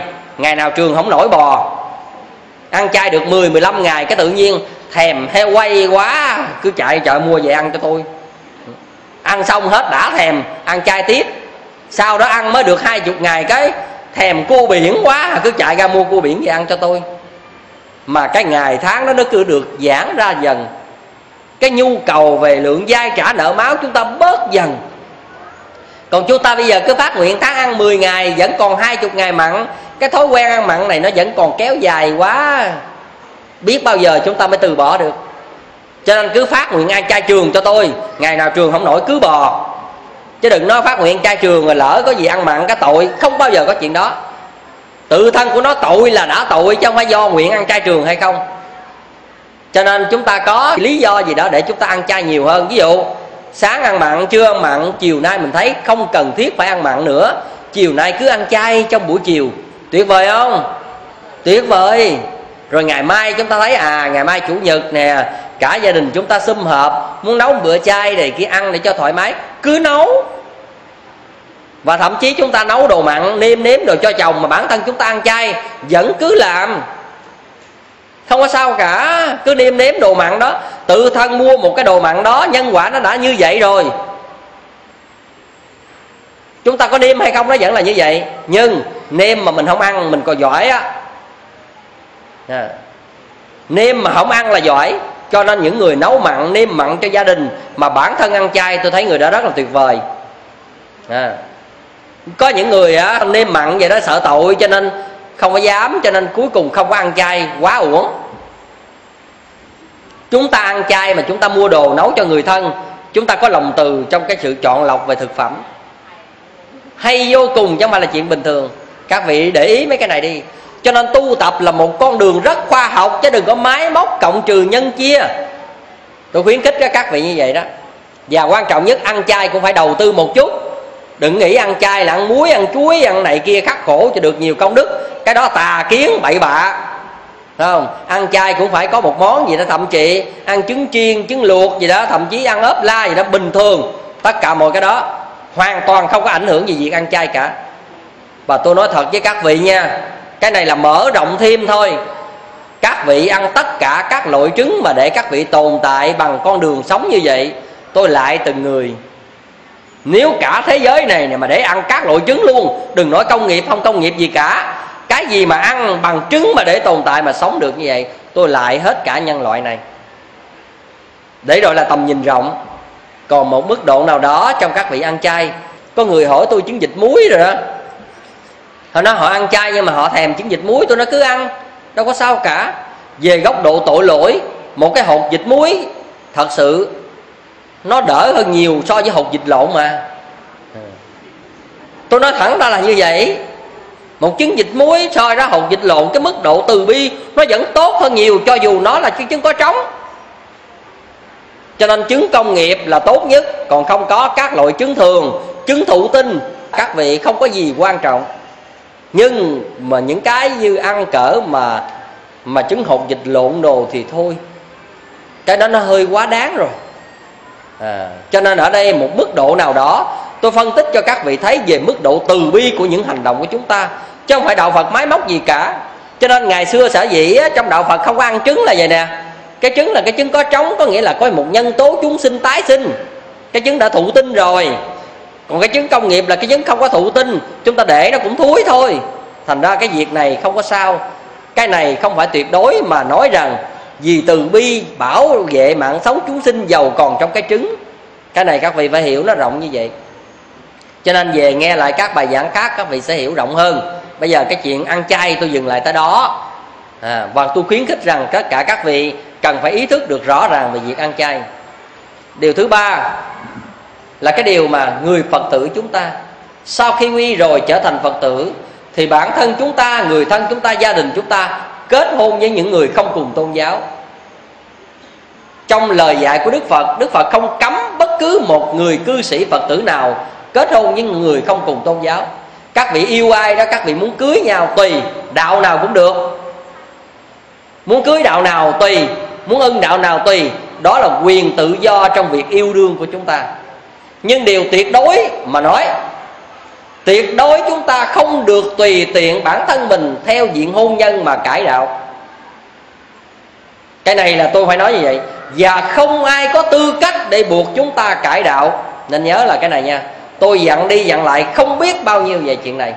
Yêu nhau cứ cưới nhau.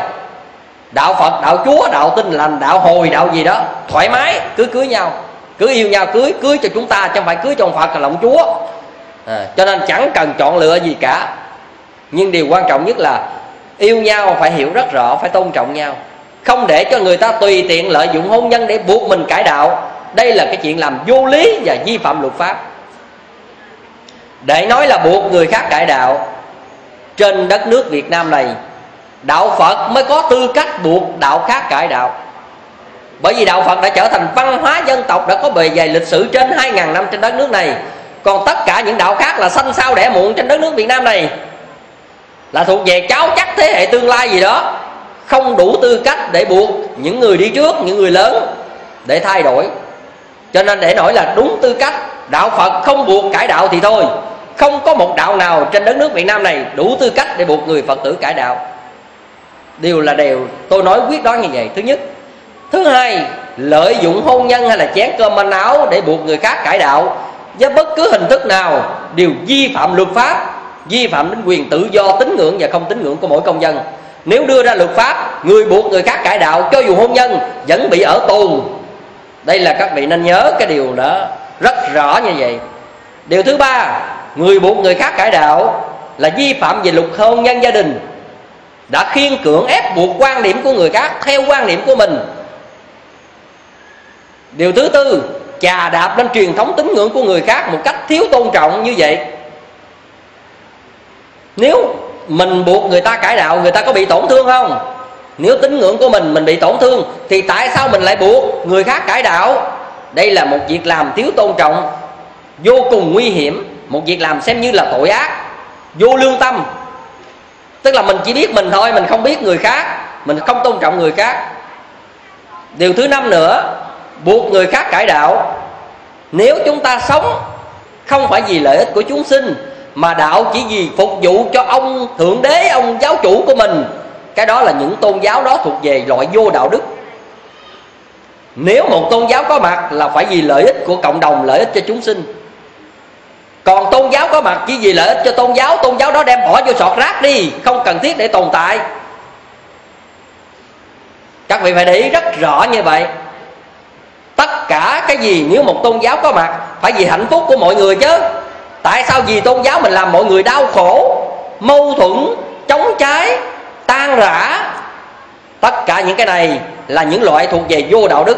Nếu một tôn giáo có mặt bằng cái cách vô đạo đức như vậy, đem tôn giáo đó sọt vào sọt rác như bỏ rác như thế. Tôn giáo nào mà vì tôn giáo trong vì lợi ích cộng đồng, không vì xã hội, không vì loài người, tất cả những tôn giáo đó không cần thiết để có mặt và tồn tại trên cuộc đời này, trên xã hội này. Tôi nói một cách rất rõ như vậy một phần thứ yếu nữa, người con trai hay người con gái mà tùy thuộc vào hôn nhân cải đạo thì mình dưới cơ thiên hạ quá đi. Dù mình là người con gái, cái người ta đến cưới mình, cái người ta buộc mình nói em phải cải đạo, anh mới cưới được, còn ai không cưới, cái tự nhiên quýnh quán ôm đồ đi cải đạo, rẻ tiền. Không có bản lĩnh, mình dưới cơ rõ ràng. Cho nên khi mà nó lệnh, nó nói à đạo này phải theo mới cưới được tao nói mày cưới được cũng được thôi. Mày không cưới tao có 80 thằng đang đợi chứ không phải con mình mày. À. chúng ta phải nói rất rõ như vậy. Chúng ta phải nói rất rõ và mạnh dạn như vậy. Yêu nhau cứ cưới nhau, đừng có đặt cái đạo vô trong này. Yêu nhau mà cứ đạo này, đạo kia phải theo thế này thế kia mai mốt mà thằng nào mà nói, con nào mà nói gì vậy bóp cái họng nó lại. À. nói thẳng ra như vậy, phải mạnh mẽ lên chứ chúng ta đừng có quan niệm cái câu là à, thôi đạo nào cũng tốt. Đạo nào cũng tốt sao nó không theo mình? Đạo nào cũng tốt mà sao nó buộc mình theo nó? Và nếu nói đạo nào cũng tốt thì sự thật với tất cả các vị đạo phật không cần nói những câu dư thừa. Bởi vì từng xấu cho nên mới nói đạo nào cũng tốt để cập nhật vô cá mè một lứa còn đạo phật chưa bao giờ xấu khỏi cần nói câu đạo nào cũng tốt dư thừa. Nói câu đó tầm thường lắm cho nên ở đây tôi thấy những điều làm lố bịch, vi phạm luật pháp, vi phạm truyền thống tín ngưỡng đạo đức mà lại len lỏi làm trong quần chúng. Cái này cái mà làm bất hợp pháp vô cùng. Cho nên tất cả các vị, sau này các vị phải để ý chống đối mạnh mẽ và báo lên với các cấp lãnh đạo nếu có chuyện đó xảy ra.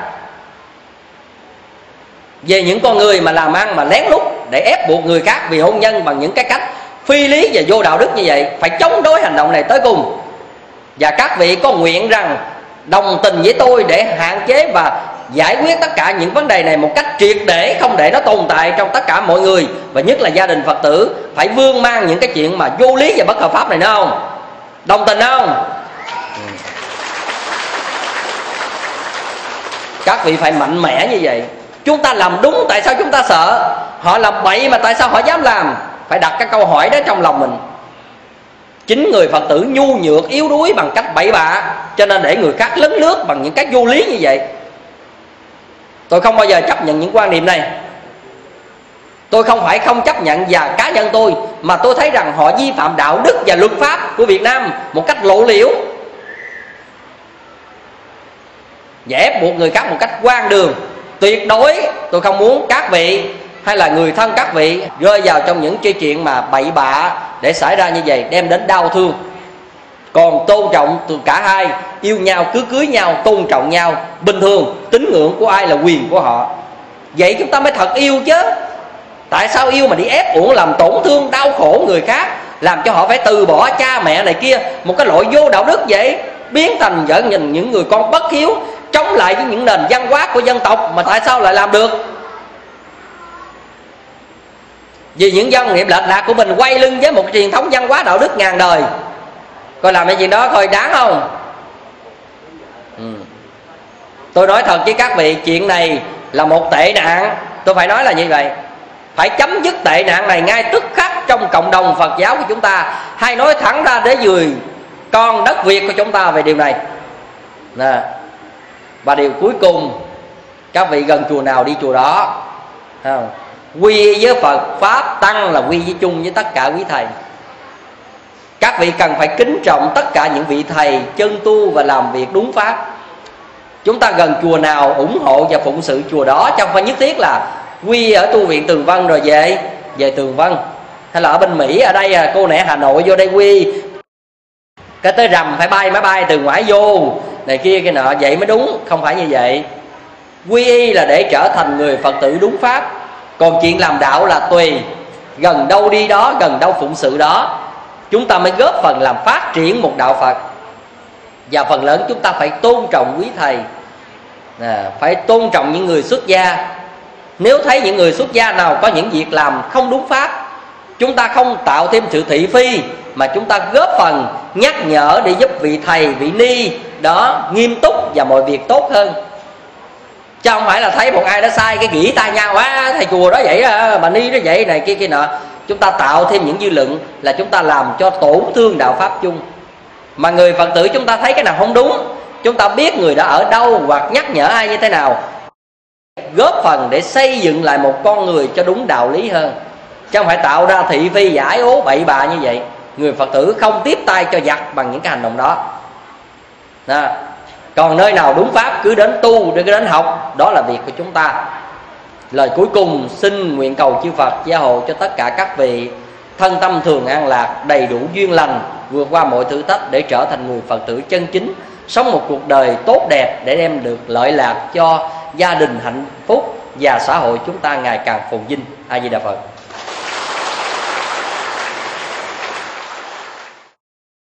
Rồi, bây giờ toàn thể tất cả chúng ta thành tâm chấp tay, hồi hướng và kết thúc trong buổi quy hôm nay a di đà phật nguyện ngày an lành, đêm an lành, đêm ngày tất cả các thời đều an lành, xin nguyện ta.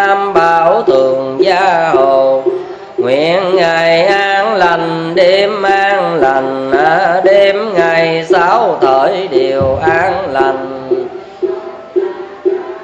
Đều an lành à, xin nguyện tam bao thường gia hồ à, nguyện ngày an lành, đêm an lành, đêm ngày sáu thời đều an lành tất cả các thời đều an lành.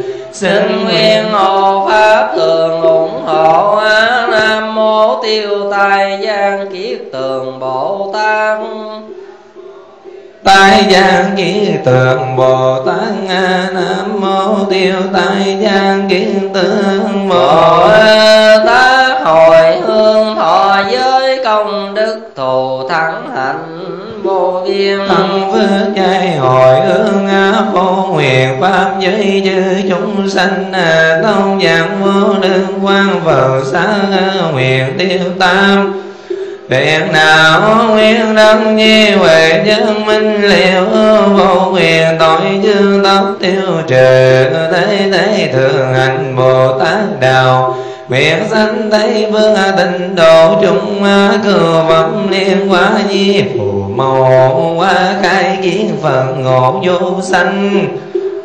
Bồ Tát Di Bàn Lữ Nguyên Di Tự Công Đức Vô Cầm Nhân Tiết Đặng dự chúng sanh, Giai cộng thành Phật đạo